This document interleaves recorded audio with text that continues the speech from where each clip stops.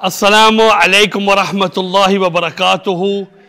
My dear respected brothers, I want to just give you a heart warm Eid Mubarak and Allah subhanahu wa ta'ala accept all the deeds that you may have done in the last 10 days and especially the Qurbani and Allah make it a means of salvation for you in this dunya and the hereafter. Have a lovely, lovely day.